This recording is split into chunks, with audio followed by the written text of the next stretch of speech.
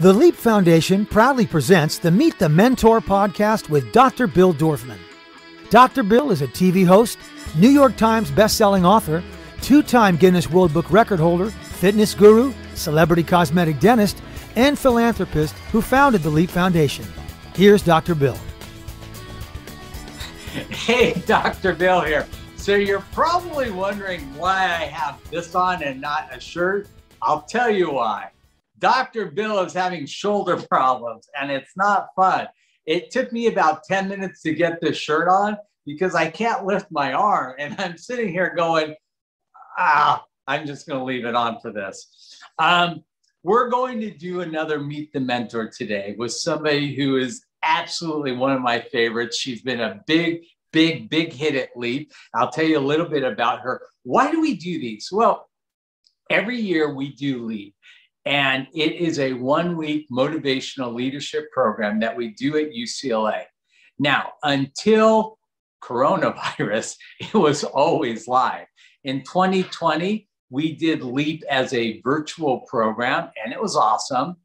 Last year, this summer, we did it as a hybrid. We had 50 students live and about 500 virtual. Hopefully, in 2022, it's going to be all live. Well, we'll be back to the 500 live, and then we'll also always continue a virtual program. But this uh, this coronavirus is really thrown a wrench into the world, isn't it? Um, anyhow, it gives me great pleasure to introduce you to Neha Gupta. She is a teen expert who works in helping teens find their passion, achieve success academically, and get into their dream schools. She is a TEDx speaker and has been on Good Morning LA, NBC, and CBS, and was one of the most popular speakers at LEAP 2019, 2020, and 2021. If you are a high schooler, she is the person you need to connect with because she is the founder of College Shortcuts, a college admissions agency that has helped 95% of the students get into the dream school that they wanted to get into. Yeah, thank you for joining us this morning. Thank you for having me. So tell me what you actually do. Like, how do you help these students get into the schools they want to get into? We do a lot of things here at College Shortcuts. I think one of the biggest issues we're seeing year after year, and especially after this last year, is that students were not um, as required to have a lot of social interaction last year. And so, one of the biggest things that we do at College Shortcuts is we help students to package themselves properly so that when an admissions officer is looking at their application for five to seven minutes, they know exactly who that student is, why they want to go there, and how they're going to help that community grow. And that is something that our high schools currently are not teaching our children of how to pitch themselves, how to sell, and what really matters when it comes to the interview, resume, and essays. So basically, you're helping students prepare their college entrance essays and everything that they need to kind of make their package. Yes. And that's specifically with their applications. With our families that start and students that start as early as eighth, ninth, and 10th and 11th grade, we're working on building their resume by finding capstone projects with them to really explore what are they interested in and, and experiential learning. Um, you know, our school systems are focused in on a lot of subjects, but for example, let's say someone wants to possibly go into dentistry and they don't know why or how. Well, we come up with a project that helps them to go experience or understand a little more in depth what that is, and then decide that's for me or that's not for me. And we want to do that early on because we know that 80% of Americans don't like their jobs. And we are trying to combat that by helping kids early on to find out what they love to do. You know, and things have changed a lot in your field. Like I heard they don't even take your SATs anymore. My gosh, in the last year, I don't know how parents are doing this on their own. We actually grew by over 60% last year just and that's a lot to say for most companies during that time. Um, but it's because it's so confusing. So last year, even Harvard and all top schools canceled the SAT, ACT requirements because no one could take a test. We're still seeing a little bit of that still this year because most people, especially in the California area, are really struggling. They're driving four hours out, staying in a hotel the night before to be able to send their kid to an exam. So a lot of people have thrown that requirement out, especially the UC schools.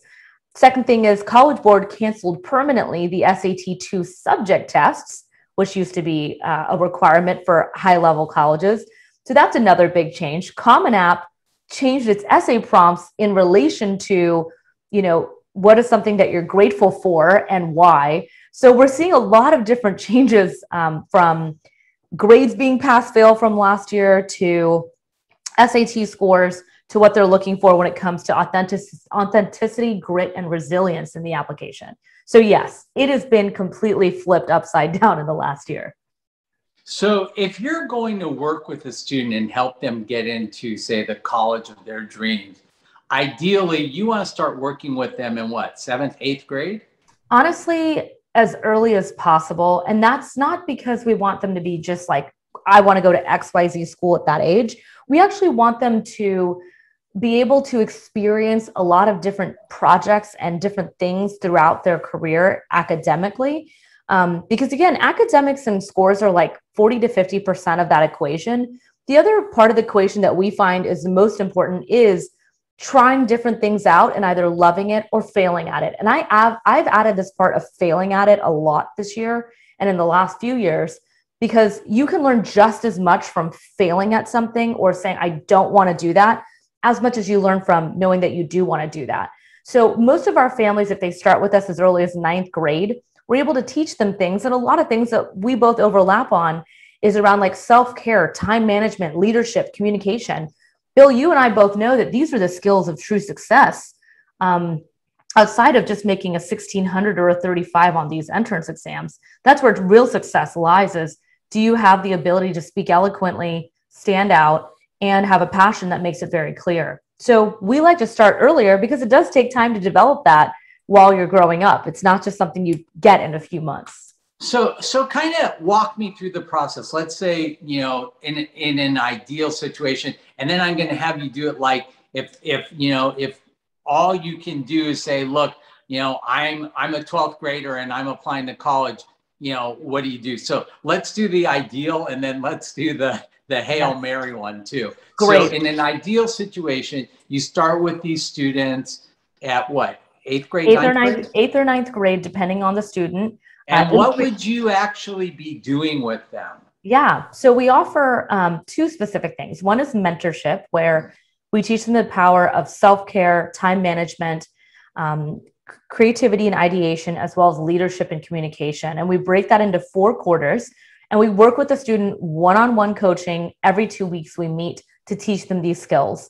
We check in with the parents every quarter to talk about, you know, hey, this is what we've covered. Have you seen any differences? Any reflections you want to make. So mentorship is really big because number one, we're seeing that the highest population of suicide, stress, anxiety, and depression is in teenagers. So we found that our mentorship program helps to combat that. The second aspect that we do is we do capstone projects in the fall, the spring, and the summer.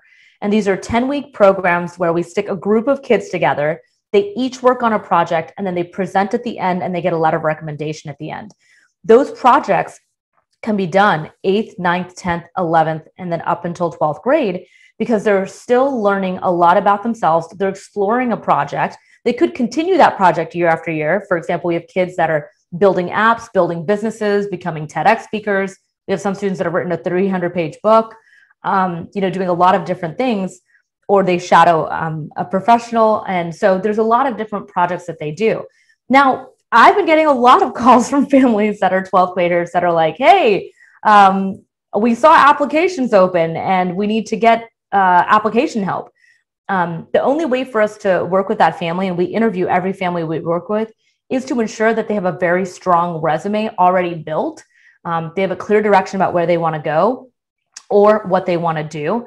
And if they need a little bit of help around that, we absolutely can help. Um, and then we are in what we call crunch time working on those applications and essays all the way up until November, December deadlines. All right, makes sense. All right, so here's the $24,000 question. I love what you do, it's yeah. amazing. Now, if I were a student and I wanted to actually have a career doing what you do, how would I prepare myself for that? You know, it's interesting you asked that. So when people find out the way I got into this or what I started doing, it's it's interesting. I actually started really at the age of 15. Um, so I was a teenager when I technically started my company. I just didn't realize I was starting at that age. Um, the first iteration of what this was was me actually tutoring kids. Um, I was the top hip hop dancer at my high school, and I started tutoring in dance. I also volunteered at a school across the street from my top school that was an underprivileged school, and I was tutoring math and Spanish. So I was able to get my feet wet in a way with working with students one on one. I then put an ad out. I know this is dating me a little bit. I put an ad out when I was in college about um, hi is anyone looking for a tutor um, you know th- please email me and i had this like random email hotmail email address and parents would email and say, wow, I would love a person from your, from where I went to college, which was Rice, to tutor our, my kid. And of course, just being someone who understood packaging at an early uh, point in life, like I would show up in a suit for my interview and I'd have a printed resume that was on beautiful paper. And the parents would be like, I've never seen a college kid walk in, look this young and this prepared. And I would get every single job that I ever wanted to get and I realized that that was something that I was really good at. Like that was my superpower in a way.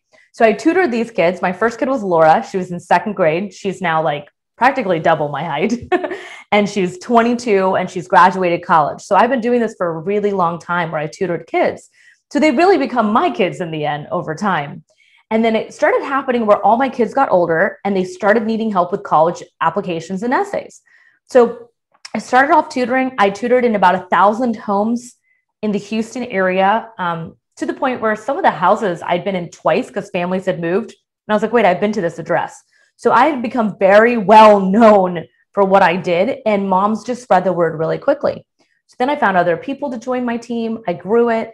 And then I found that where people needed a lot of help in the end was how to package yourself and how to do the essays. And we kept seeing we were getting kids in year after year after year to hard schools, UT Business Honors, um, lots of different programs. And so then I said, okay, now let's do this as college shortcuts. So I'd say that for any student that's like looking to get started, the way I really looked at it is think about what are things you enjoy doing that you're shocked that you would actually get paid for. I was shocked I got paid for tutoring. I mean, I, I couldn't believe it. For me, it was so much fun that you could have actually just I would have done it for free because I liked it so much. And so I think that's a really important like barometer of like where do you lose track of time in a way. Um, and I know I'm the queen of time management, but you know where do you lose track of time that you really enjoy it? You know, I'm sure Bill early on in your career when you were doing a lot of dentistry work and all of that, like you came up with innovative services and solutions because that's just how our brains work when we're just in flow state. So that is how I got into it um, my degree is actually in economics and business. It is not in education.